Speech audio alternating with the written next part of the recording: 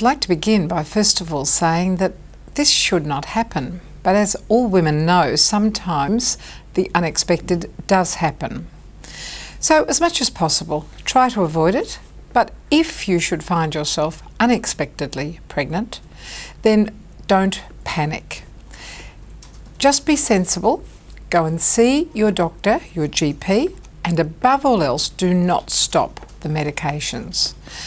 The most catastrophic thing that could happen would be for you to have a lot of seizures that were unnecessary and avoidable, and we would not want that. So don't stop the medications, continue on your normal medication, and go and see your GP or the doctor who knows you best. Maybe you already have a specialist and you can make an appointment there. Often a phone call in advance would be useful and they will understand the importance of that.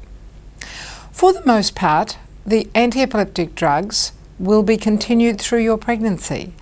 And in some occasions, there could be a change in dose, perhaps a, a, slight reduction early in pregnancy for some medications.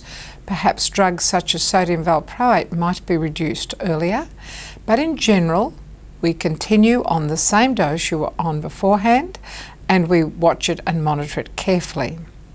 Clearly, there are many anti epileptic drugs, and so I can't in this talk give you any particular generalisation. See your doctor, don't panic, and take some folic acid supplements. Folic acid is a building block for babies and this should be taken in pregnancy. Say two, two, two milligrams a day and then see your doctor.